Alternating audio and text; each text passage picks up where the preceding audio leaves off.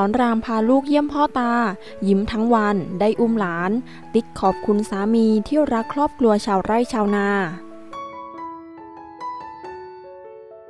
คุณตาได้อุ้มหลานครั้งแรกแล้ว หนุ่มศรรามพาน้องวีจิลูกสาวไปเยี่ยมคุณตา โดยติ๊กบิ๊กบราเธอร์ได้โพสต์รูปภาพลง IG ขณะที่คุณตายิ้มกว้าง และอุ้มหลานสาวไปด้วย พร้อมกับแคปชั่นว่า หลานของตา ตาของหลานแฮชแท็กติดดินแบบบินได้ โดยหนุ่มสอนรามเข้าไปคอมเมนต์ว่า คุณตายิ้มทั้งวันเลย ได้อุ้มน้องวีจิสักทีนะครับ ด้วยความรักและเคารพนะครับคุณพ่อ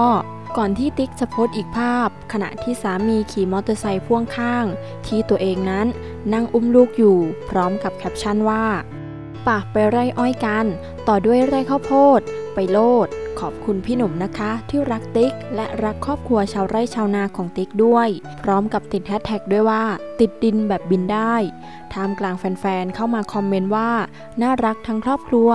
ชอบความเป็นธรรมชาติ ธรรมดาเรียบง่ายของบ้านนี้ ขอขอบคุณข้อมูลจากเว็บไซต์ข่าวสด TRNTV คนอ่านข่าวขอบคุณค่ะ